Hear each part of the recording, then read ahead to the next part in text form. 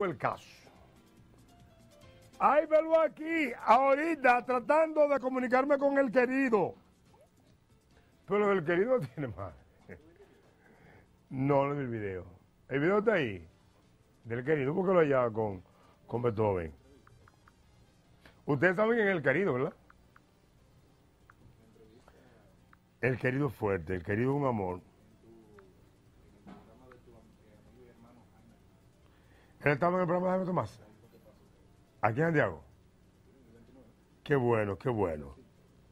Coño, qué bueno sí que fuera el programa de Jaime. Mi amigo Jaime Tomás. Debió de reproducirlo por aquí, Jaime, para que lo supiera más gente.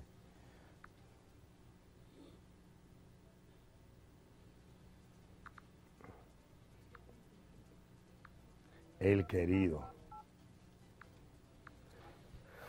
Querido, un gran amigo mío. Lo que el querido comunicador y toda la vaina junta. Después de la pausa vamos a enseñar el video del querido. Querido, Sí, a la orden. quiero hablar con el querido. Sí, ¿quién le llama? Nelson Javier Cocodrilo. Un momento, cocodrilo.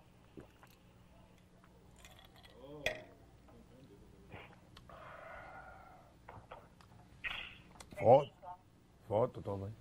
El cocodrilo le llama. No es posible la entrevista en mano del alma. Lo que el, el, el teléfono ayer, me llamó la capital. Ok, No ok. es posible, porque para una esos temas ya. ¿Está, ¿Está en la capital todavía, querido?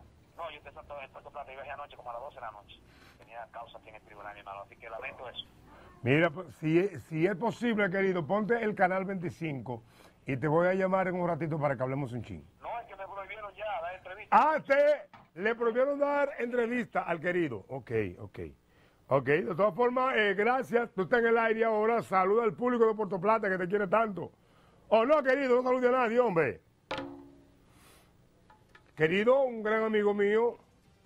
Parece que el diablo está comiendo la mente y se está convirtiendo en un ser ridículo. Un gran amigo mío. No, eh, es un gran amigo mío. Eh, le prohibieron dar entrevistas.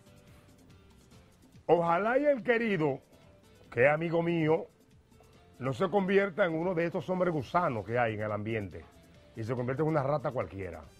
Porque es un gran amigo mío y se merece cosas buenas. Entonces, el querido, el querido, que se ha vulgarizado y se ha convertido en un ratón de hombre, tiene que recomponerse. Pero yo lo quiero mucho, lo quiero mucho. Es mi amigo y es un ser humano especial. ¿Me entiendes? ¿Dónde es eso con Jaime? Soy con mi amigo Jaime Tomás. Bien. Me imagino que Jaime se estaba curando con esta mierda de hombre. ¿Me entiendes? Eh, pero yo le guardo mucho cariño y respeto. Y sé, sé que el querido se va a recomponer, se va a recauchar, se va a rediseñar. Hay momentos de la vida que uno se convierte en un cualquiera, en un zafacón. Y uno se levanta de ahí. Ustedes han visto, escúchame la palabra, ustedes han visto estos mojones que se paran así. ¿Me entiende? Que salen y, y no bollan. Eso es el querido ahora. Pero sé que él se va a recomponer. No, porque que fue que maltrató a mi mamá. Maltrató a tu mamá.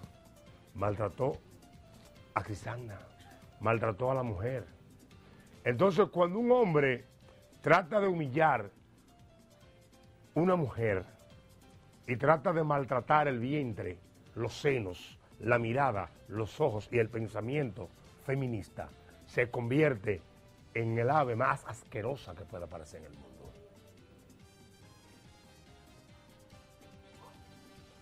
Cuando usted tiene la oportunidad de tener una esposa, todo lo negativo que usted haga en base al crecimiento emocional, espiritual y familiar de esa esposa, usted lo hace a escondida. Lo disimula. Porque nadie es santo. Pero yo no puedo decir aquí que tengo una segunda base y que Loli me la apoya. Porque estoy diciendo que Loli es una ratrera y que yo soy otro ratrero. Y que la tercera o la segunda es otra ratrera. Pero eso el diablo anda buscando dónde estacionarse. El diablo hizo una parada en la cabeza del querido. Se hizo pupú en la cabeza del querido el diablo y derramó fete por el cuerpo del querido. Entonces el diablo está ahora mismo limpiándose y el querido se quedó afectado por la fete de Satanás. Venimos ahora. ¡Ay, fo, querido! ¡Fo! ¡Coño!